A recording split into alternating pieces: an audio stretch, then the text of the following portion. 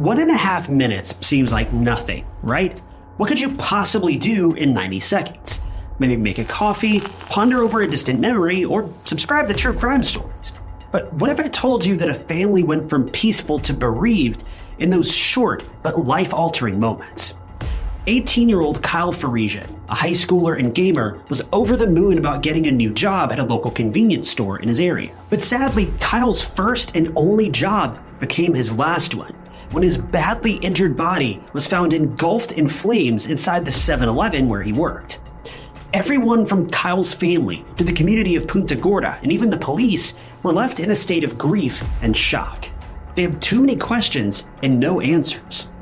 The tragic case of 18 year old Kyle Farishian is horrific, mind boggling, and really leaves you wondering where danger could be lurking. It could be creeping up on you, it could be right in front of you, and sometimes danger can catch you off guard at the worst times.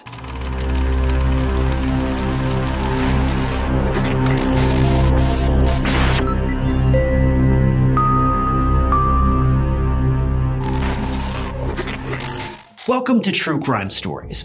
If you're sick of those annoying AI narrated true crime channels, well, I post new true crime cases every single week, hosted by a live human person. So if you want to see some classic true crime documentaries, hit that subscribe button. It's totally free and will keep you up to date with all of my future videos. Kyle J. Farishian was born on March 17, 1997, in Naples, Florida. He came from a blended family that included his stepdad and several stepbrothers and sisters, and Kyle was close with every last one of them. He loved riding his bike, exploring the outdoors, and keeping himself busy with adventures. He was also an avid gamer, and he was overall a happy, friendly, and welcoming young man. Kyle's personality was very warm and polite, but he was also very protective of his sister, Keston. The siblings shared a mutual love for biking and would always go together everywhere. Kyle, being the overprotective brother, always looked out for his sister, and he ensured that no danger ever reached her, always keeping tabs on. Kyle, even though he loved his stepfamily, also kept in touch with his biological dad, Mark Farishian, who lived about 50 miles away in Punta Gorda. Mark defined Kyle as his best friend. Kyle got into a comfortable routine of spending the weekdays with his dad in Punta Gorda, and then the weekends with his new family. In 2015, Kyle was living in Punta Gorda, and he was attending high school in North Fort Myers as well. Like most high schoolers, Kyle also got his very first job around that time. It was at a local 7 Eleven in Punta Gorda, and lucky for Kyle, it was the night shift. And this was great news for Kyle because he could not only get a grip on his new work life, but he could also build his confidence and try to interact with people more easily, as there would be far fewer people coming in at night. So, by all accounts, this job was perfect for Kyle because he was not only happy with the shift hours, but he was also getting his first taste of freedom and financial independence, which is something that a lot of high schoolers look forward to. But no one could have anticipated that Kyle's first job ever would turn out to be his last, because in the early hours of November 1st, 2015, Kyle was subjected to something so utterly evil and life altering that it would haunt his family forever. October 31st, 2015 started out like any other day for Kyle. It was Halloween, and Kyle went about his day like normal, and later after midnight, he had to go to 7 Eleven for his shift on November 1st of 2015. Kyle was supposed to clock in on his own at first, and then later, at around 3:30 a.m., he'd be joined by another coworker. So Kyle got dressed and made his way to 7-Eleven for his shift. Things were moving slowly, and customers were steadily flowing in, and Kyle was at the register serving them as well as keeping an eye on the aisles. Around 7:13 a.m., just 13 minutes before Kyle's coworker was scheduled to clock in for work and join him, a 911 call was made by a local resident. According to the caller, smoke was seen billowing out of the 7-Eleven, and fire was visible from inside the store. As the woman on the phone approached the scene, she made an eerie discovery. She could clearly see a body on the floor, and after this revelation, emergency services were immediately dispatched to 7-Eleven. As soon as the fire was extinguished, the first responders could definitely see a badly burned body by the counter. But that wasn't all. The floor leading to the counter was stained with blood, and upon a closer inspection of the body, there were multiple wounds. This left the investigators confused. Their first thought was arson, But now, this seemed even more sinister and disturbing. Someone had deliberately taken the life of a 7 Eleven worker and then set the place on fire. But remember the coworker that was due to start her shift soon? Well, it turns out she was right outside the convenience store and about to go in when she saw the fire inside.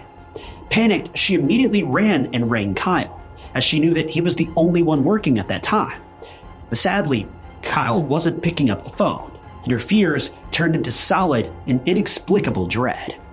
The coworker also reached out to the investigators at the crime scene, and she broke down in tears, admitting that the burned body found inside 7 Eleven was likely that of 18 year old Kyle Farija. It's so devastating to think that Kyle had just started this new job.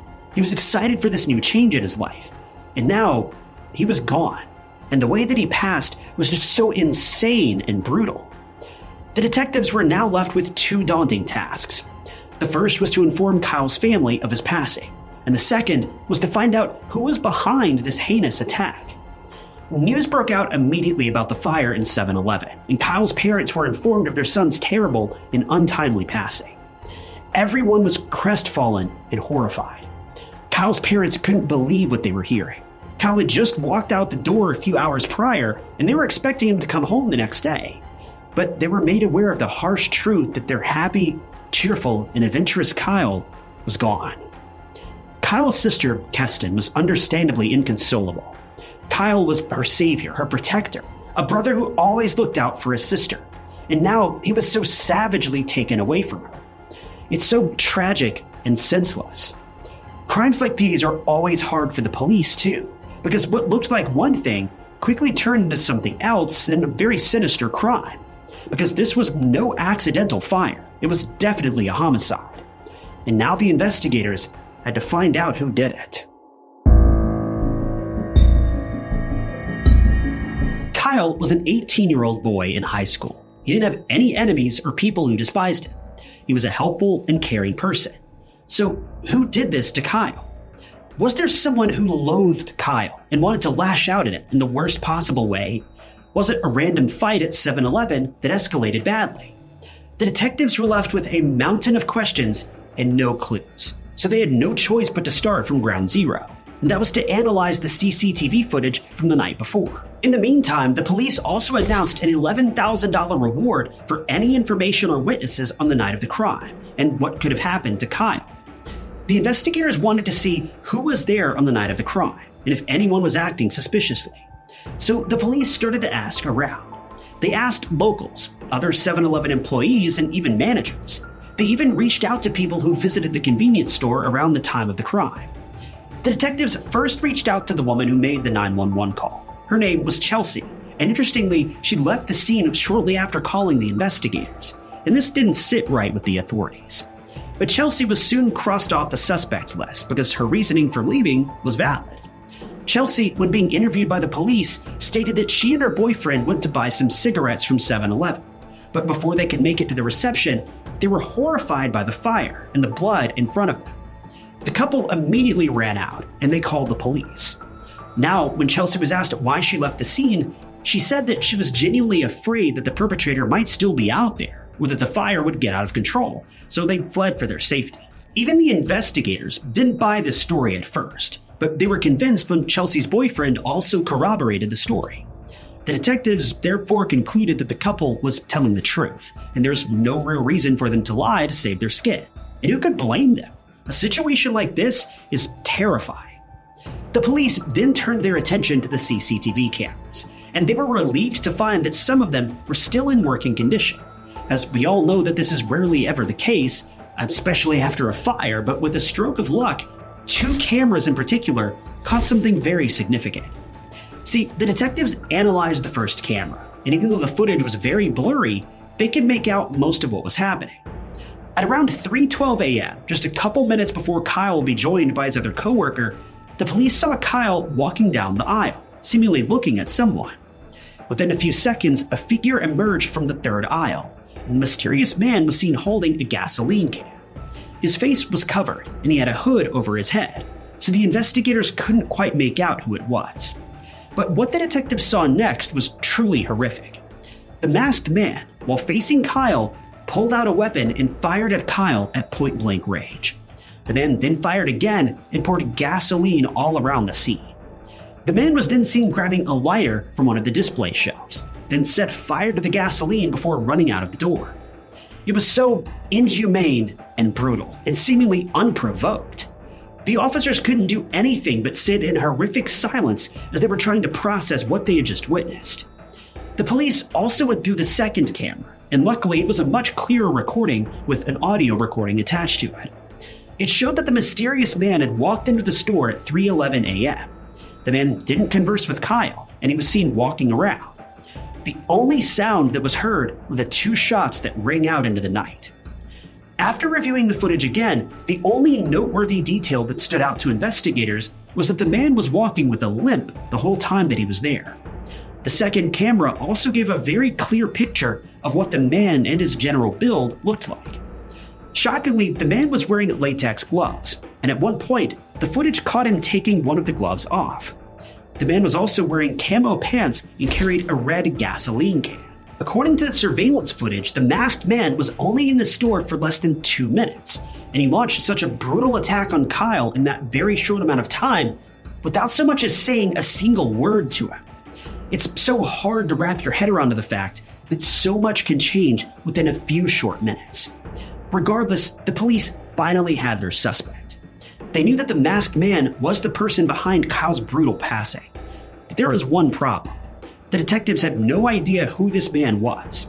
His face was covered, and no details could be made out. There was also no incriminating evidence, save a discarded and melted latex glove found near Kyle's body. So the investigators were left with no choice but to ask locals for more information about this man. During the investigation, though, there was a breakthrough. See, the manager of 7 Eleven, the same store where Kyle worked, reached out to the detectives with some information. It was a bizarre coincidence that the manager wanted the police to know about, which took place weeks before the tragic and sudden attack on Kyle. But she believed she may know who the criminal was. The 7 Eleven manager, Lori, remembered a very peculiar scene that occurred weeks before the heinous crime. She recalled a man walking into 7 Eleven to buy alcohol. Lori and Kyle were both there when the man approached the counter. At the register, Lori requested the man's ID that he only showed from his wallet. When she asked him to remove it from his wallet so that she could scan it, that was when the man lashed out at her. He refused to hand over his ID, and Chelsea therefore refused to serve him. The man seemingly got very violent and he proceeded to threaten Chelsea with taking her job away and also asked for every employee's name working there before angrily walking out the door. Lori tried to note down the violent man's license plate to report him to the authorities, but when the man saw her doing that, he followed her back inside the store. Intimidation, aggression, and anger clear in his stride. He began to cause a scene, and it was getting very intense, and this was the moment when Kyle called 911 and the man noticed that. Before the investigators could arrive, though, the man zipped out of the parking lot, but Lori had successfully noted down the license plate number. When the police arrived, Lori handed the details over to the detectives, and he was banned from entering the store.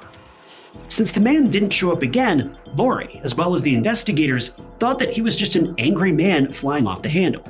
But a couple of weeks later, on September 15, 2015, the same man came back in for some alcohol and the employees refused to serve him for obvious reasons. The police were called again, and the man fled the scene once again. Now, hearing all of this, especially after the tragic and fatal attack on Kyle, the police finally decided to look into this mysterious and angry customer.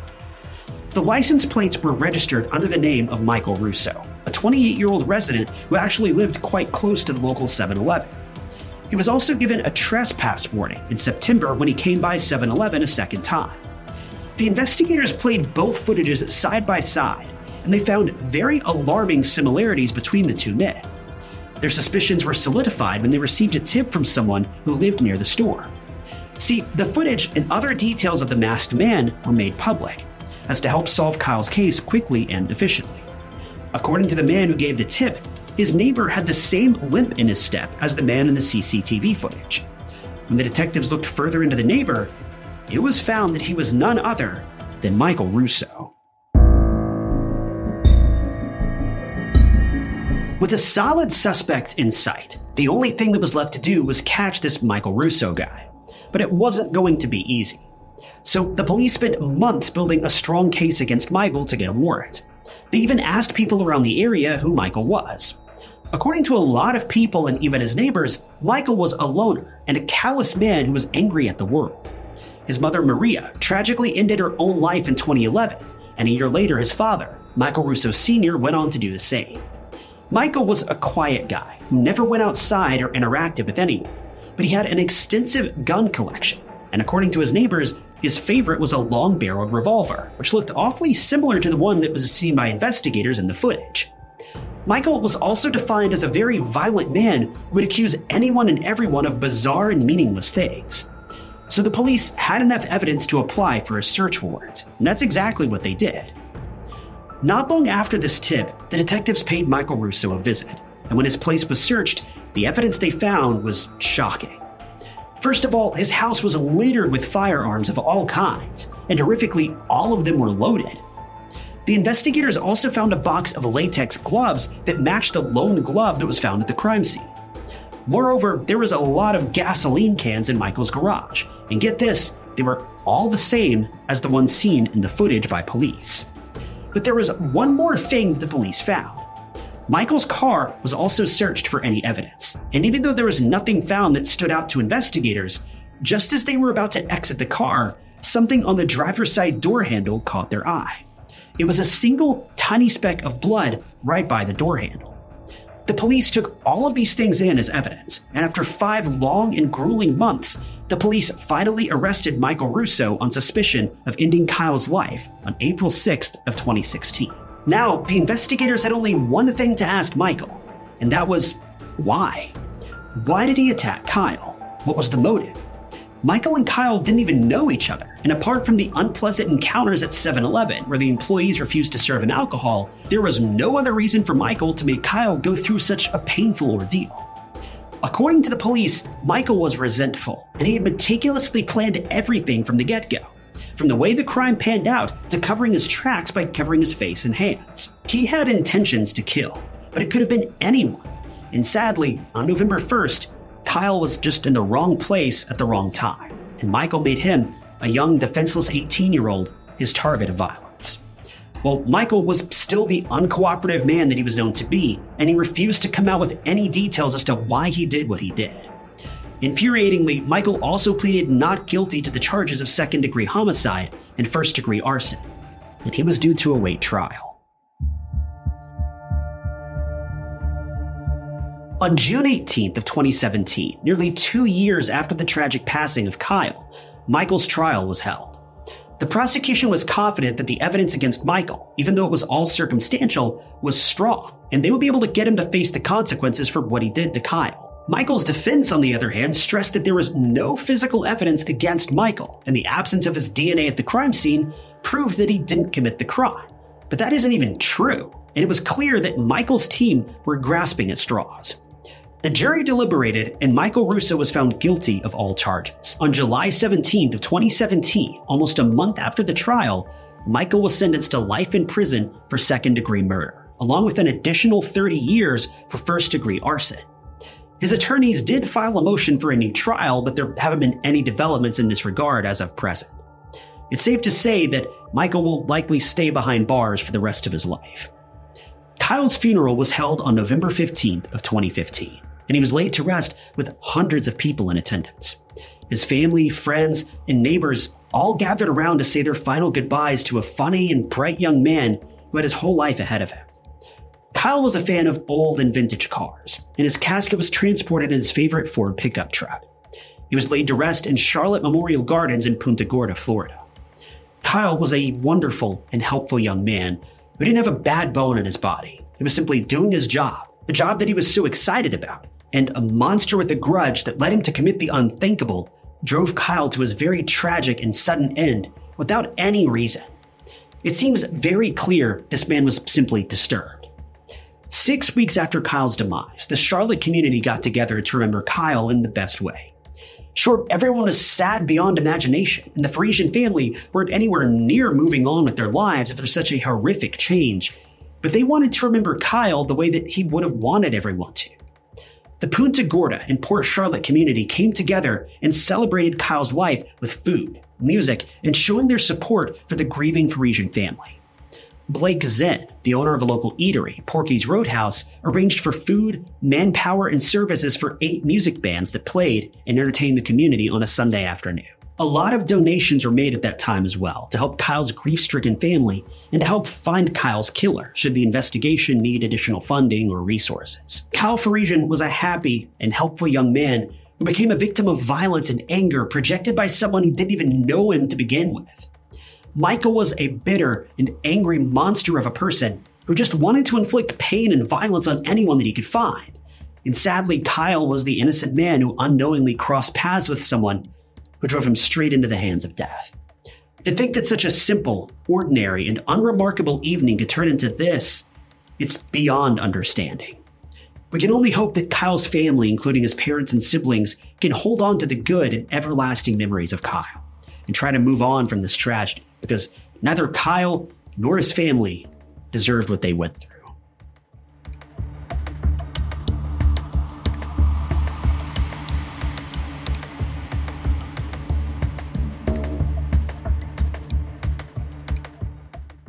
Thank you guys for tuning in to another episode of True Crime Stories. I wanted to give a special thank you to a couple channel members, including Christine Smith and Cordelia Garnett. If you also want to become a member of the channel, you'll gain access to new videos sometimes days or weeks before they're uploaded to the public. And it's currently the best way you can support the channel and help out. And I really appreciate those of you that have decided to do that.